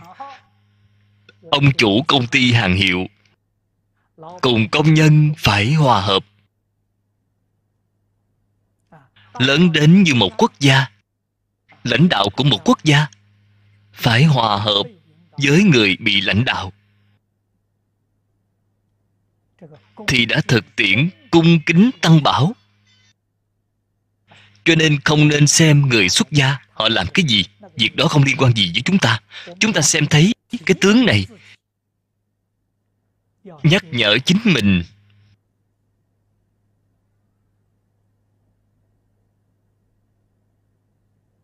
Phải tu lục hòa kính. Người xuất gia thân tâm thanh tịnh, nên gọi là sáu căn thanh tịnh, không nhiễm một trần đây là chúng ta phải nên học tập. Phải nên bắt chước làm theo.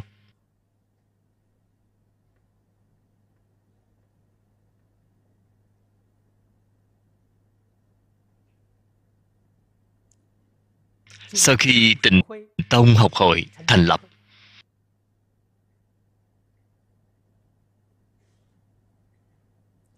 chúng ta chú trọng tu hành, tu sửa tất cả tư tưởng, hành vi sai lầm của chính bản thân mình. Chúng ta từ trong kinh luận tiết lục ra năm khóa mục. Không thể quá nhiều quá nhiều thì không thể nhớ không thể nhớ thì cũng bằng không được lợi ích gì. Cho nên người hiện đại chúng ta tu học khóa mục càng đơn giản càng tốt. Năm cái khóa mục này, cái thứ nhất là tịnh nghiệp tam phước. Đây là nền tảng. Trong đây nói ba điều. Cần thiết phải làm điều thứ nhất, hiếu dưỡng phụ mẫu. Phụng sự sư trưởng, từ tâm bất sát, tu thập thiện nghiệp. Đây là điều thứ nhất. Bạn đem câu này làm cho được phước báo trời người, bạn liền đạt được. Đây là phương pháp tu học. Phước báo trời người. Điều thứ hai là từ cái nền tảng này mà nâng lên trên cao.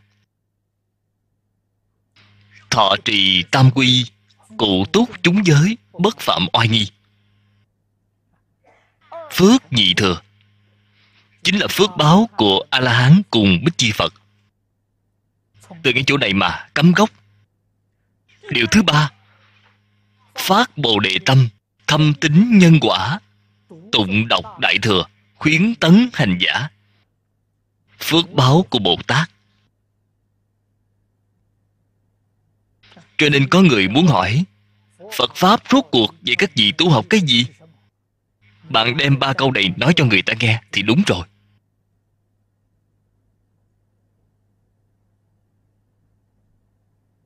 Cho nên đại thừa bồ tát, ba điều mười một câu này là viên mãn. Tôi giảng kinh cũng thường nói nếu như chúng ta đầy đủ điều thứ nhất, niệm phật giảng sanh tây phương tịnh độ, sanh cõi phàm thánh đồng cư. Bạn đầy đủ hai điều. Tổng cộng có bảy câu. Bạn giảng sanh thế giới tây phương cực lạc, sanh cõi phương tiện hữu dư. Nếu như bạn đầy đủ ba điều này, tổng cộng 11 câu, bạn đều làm được bạn sanh cõi thật báo trang nghiêm.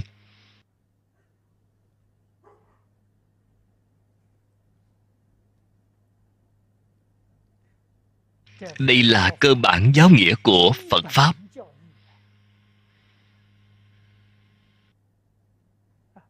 Chúng ta học phật, học không tốt. Chính là lơ là đi những việc này.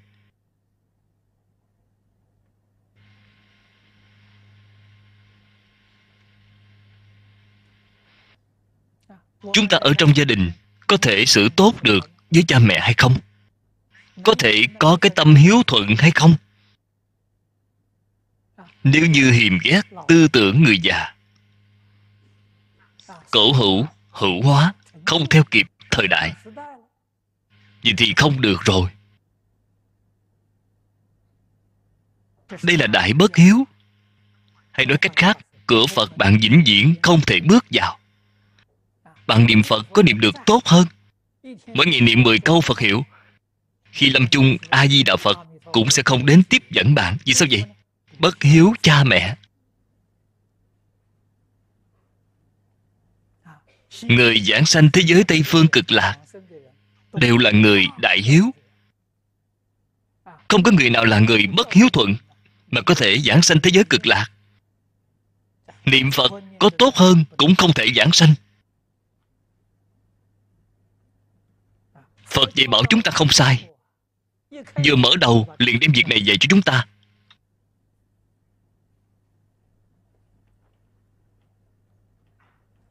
Cho nên bất hiếu cha mẹ, bất kính sư trưởng, niệm phật không thể giảng sanh.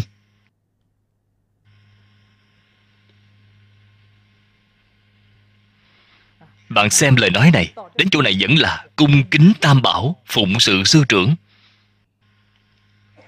luôn là niệm niệm không quên. Tri ân, báo ân. Người giảng sanh thế giới tây phương cực lạc, không có người nào là không hiếu thuận, không có người nào là vong ân phụ nghĩa.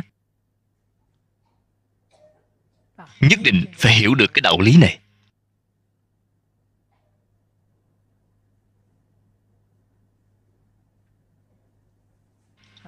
Cho nên trong tam bảo hình tượng của tam bảo.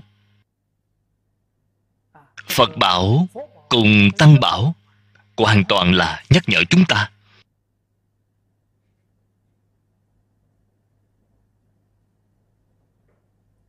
Thấy được phật, thì phải nghĩ đến ân đức của phật. Nhìn thấy tăng, thì phải nghĩ đến phật dạy cho chúng ta sáu phép hòa kính cho đến pháp bảo. Không chỉ phải tôn kính, nhất định phải chăm chỉ, nỗ lực, học tập. Kinh luận của nhà phật quá nhiều. Bắt đầu học từ đâu? Nhất định phải có lão sư chỉ dạy. Lão sư chỉ dạy nhất định là tuần tự tiến dần.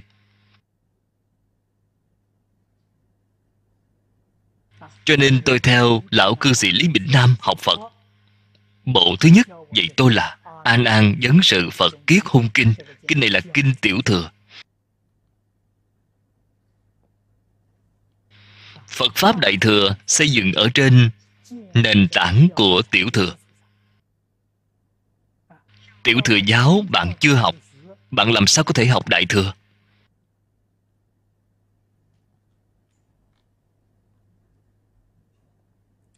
Bộ kinh điển này không dài, là một bộ kinh điển nhỏ.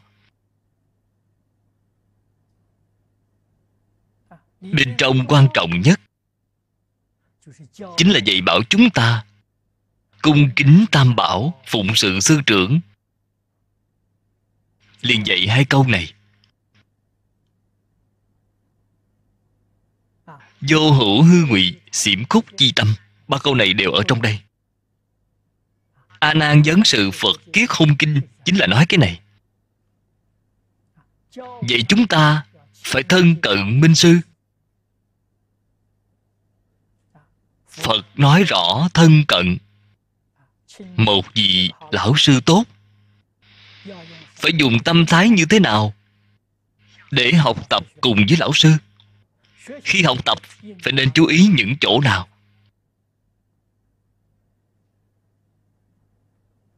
Đều giảng được rất tường tận, rất tỉ mỉ.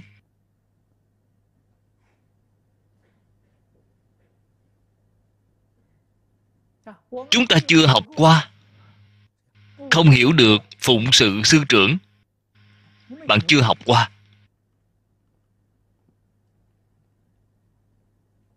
Vào thời xưa. Từ nhỏ, cha mẹ dạy hiện tại, cái xã hội này không giống như ngày trước. Vợ chồng đều phải đi làm, đều phải làm việc. Đối với việc dạy dỗ con cái thì lơ là. Giáo dục con cái thì giao cho ai? Giao cho người làm trong nhà dạy.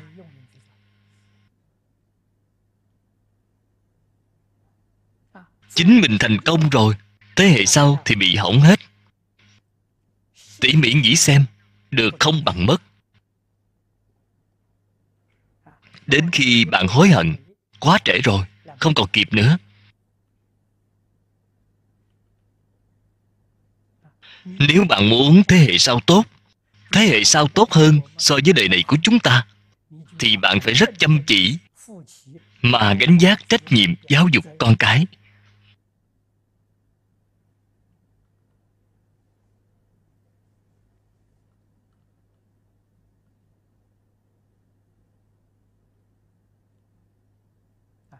Cái đại đạo lý trong đây ảnh hưởng cũng rất là lớn.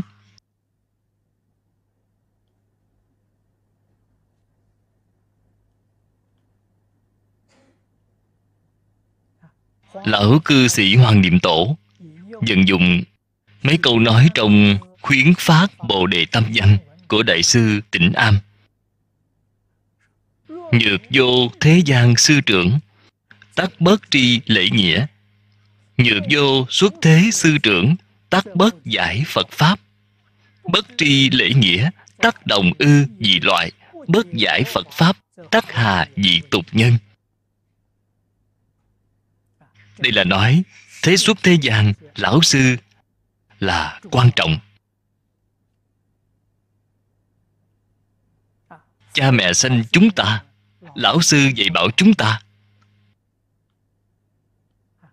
thế nhưng, học trò làm sao hiểu được tôn sư trọng đạo? Việc này nhất định là cha mẹ phải dạy.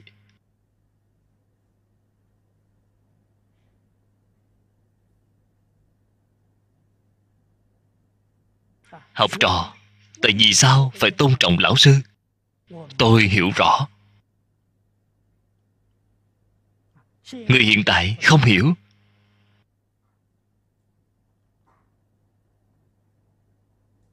Tôi vẫn nhớ được khi tôi bảy tám tuổi. Lần đầu tiên đến trường tư thục đi học. Tôi học tư thục đại khái chỉ học được hơn hai tháng.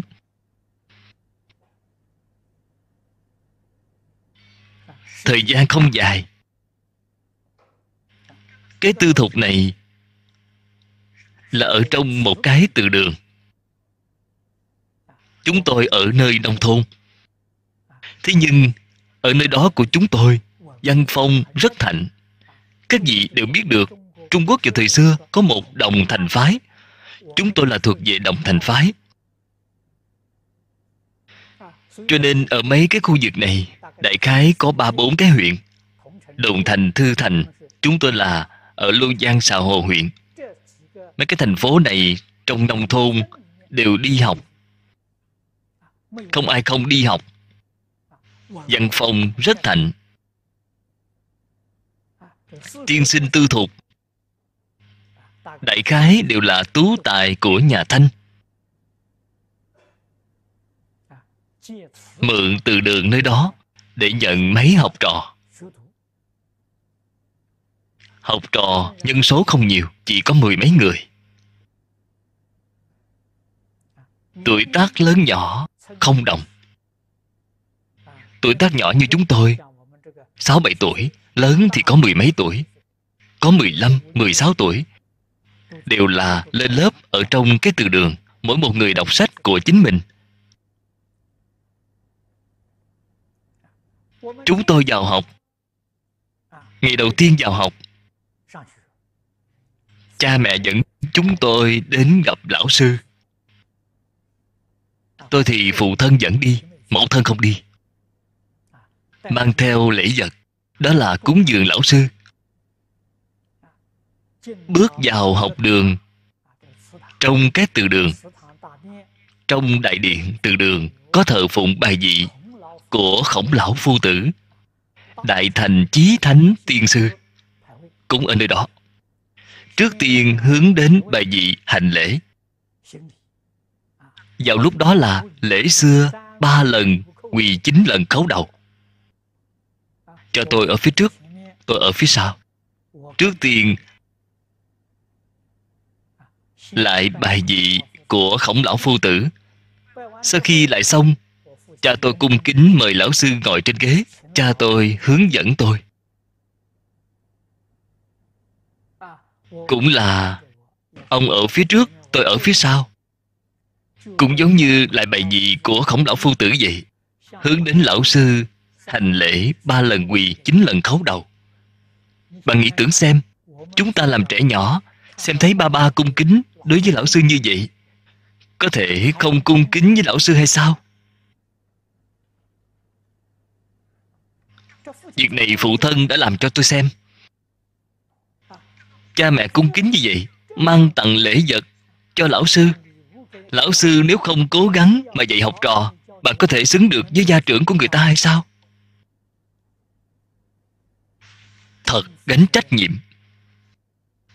Không như hiện tại, lão sư hiện tại, nếu như quản học trò mà nói, gia trưởng của học trò sẽ đi cáo trạng. Vậy thì phải làm sao?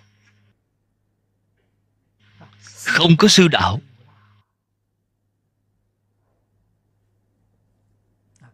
Học vấn làm sao có thể thành tựu? Học vấn từ đâu mà có?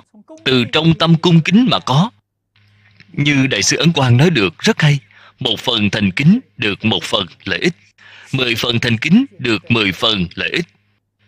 Hiện tại chúng ta đối với lão sư, một phần tâm thành kính cũng không có, làm sao có được lợi ích? Chúng ta có thể khởi tâm cung kính đối với lão sư là cha mẹ vậy. Không phải cha mẹ chỉ nói ngoài miệng, còn làm ra cho chúng ta xem chúng ta theo sau bái lại.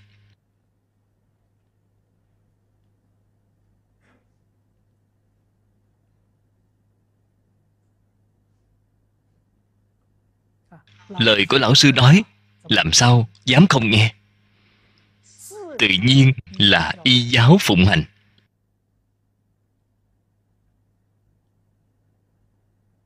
Người xưa hiểu được, hiện tại thì không có người hiểu hiện tại dạy học rất khó.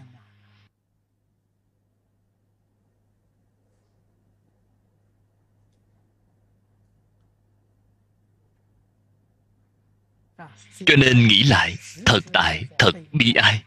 Trên kinh điển, phật thường hay gọi là người đáng thương. Chân thật là người đáng thương. Không hiểu lễ nghĩa. Lễ là lễ tiết nghĩa là đạo nghĩa. Làm sao có thể thành tựu?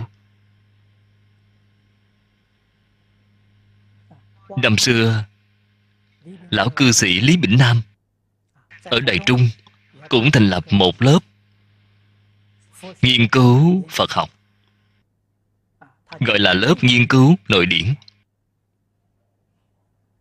Chiêu nhận tám học trò tám học trò đều là tốt nghiệp đại học.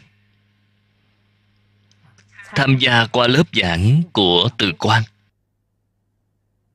từ trong lớp từ quan chọn ra tám người. Họ ở trong lớp nghiên cứu này, tiếp nhận dạy học bốn năm. Mục đích của lão sư là hy vọng họ tương lai có thể hoàn pháp lợi sanh. Ngay trong tám người, có hai người là nữ. Nữ học trò, lão sư yêu cầu rất nghiêm khắc, yêu cầu nhất định phải phát nguyện. Trọn đời, không kết hôn. Mới nhận vào. Không yêu cầu bạn xuất gia, nhất định yêu cầu bạn không kết hôn cả đời này, phụng hiến cho phật giáo. Thay phật giáo làm việc. Hoặc giả làm hộ pháp. Hoặc giả làm hoàng pháp.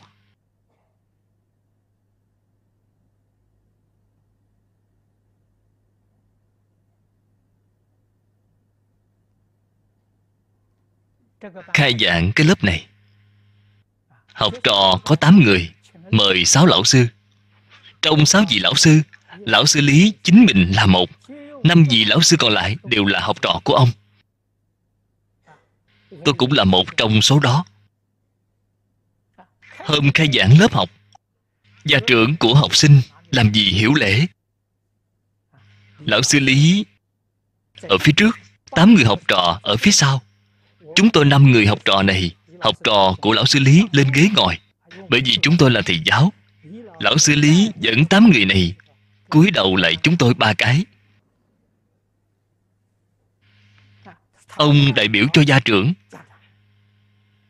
Đại biểu gia trưởng, cái thân phận này, lãnh đạo tám học trò. Chúng ta là dùng lễ tiết của nhà phật, không phải ba lần quỳ, chín lần khấu đầu, cung cung kính kính đảnh lễ ba lại.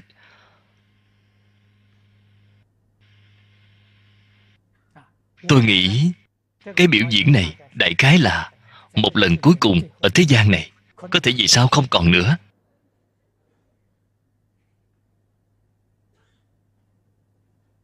Không dễ dàng. Ông còn có thể làm được.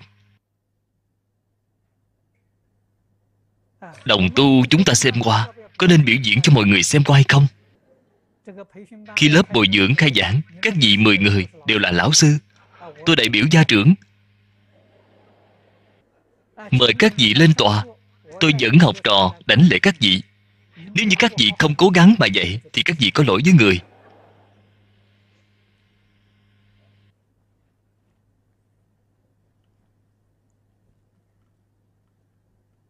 Thường lễ, phải nên có cách làm như vậy.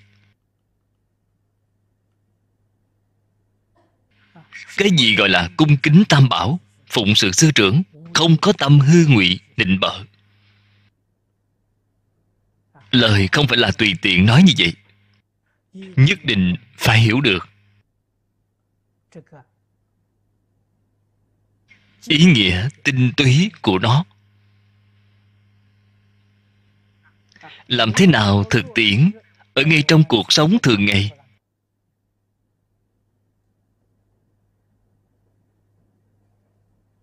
Tổ sư đại đức của tịnh tông thường hay nhắc nhở chúng ta lão thật độc. Vô hữu hư ngụy xiểm khúc chi tâm mới là lão thật.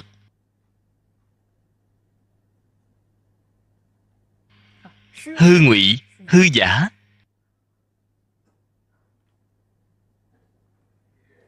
Xiểm khúc, người thông thường chúng ta gọi là nịnh bợ.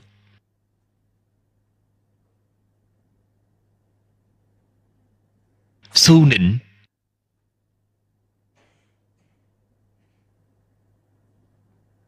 tâm thuật bất chánh. Họ làm sao có thể thành tựu?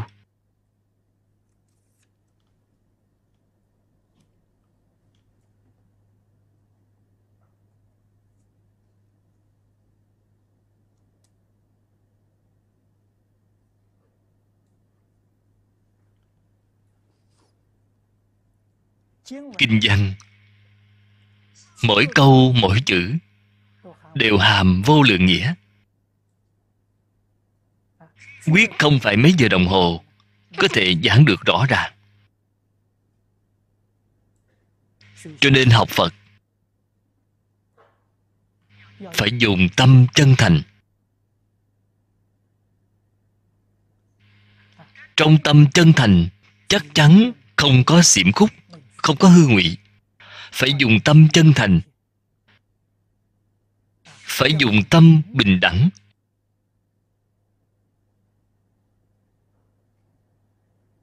Phải dùng chánh giác từ bi.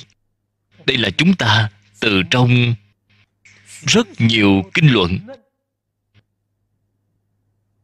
Kết tập được 10 chữ. Bình thường, trong phật pháp đại thừa thường nói phát tâm bồ đề. Câu nói này không dễ hiểu chúng ta đem nó đổi một cách nói. Mọi người liền dễ hiểu. Chân thành, thanh tịnh, bình đẳng, chánh giác từ bi chính là tâm vô thượng bồ đề.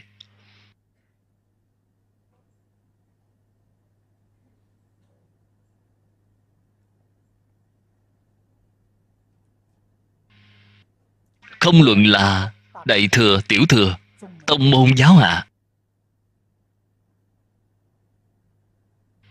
đều là từ ngay chỗ này mà khởi học.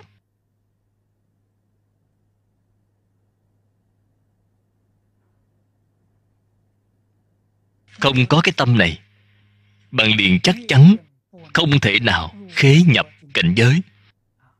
Không những là vào cảnh giới phật, ngay niệm phật, cầu sanh tây phương tịnh độ, đều không đạt đến. Đây là mới biết, phát tâm là quan trọng.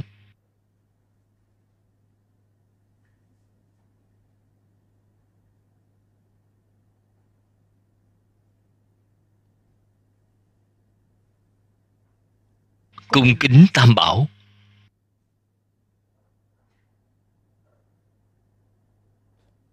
Phụng sự sư trưởng. Tâm chân thành hướng đạo đây là đại căn, đại bổn của bồ tát tu hành.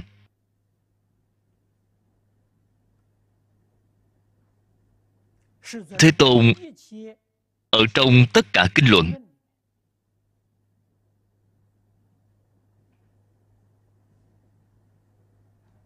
dùng cái ngôn từ vô cùng khẩn thiết để dạy bảo chúng ta chúng ta quyết định không thể xem thường. Biết được tu học ngay đời này, thành bại then chốt chính ở chỗ này. Tốt rồi, hôm nay thời gian đã hết. Chúng ta chỉ học đến đây thôi. A di đà phật.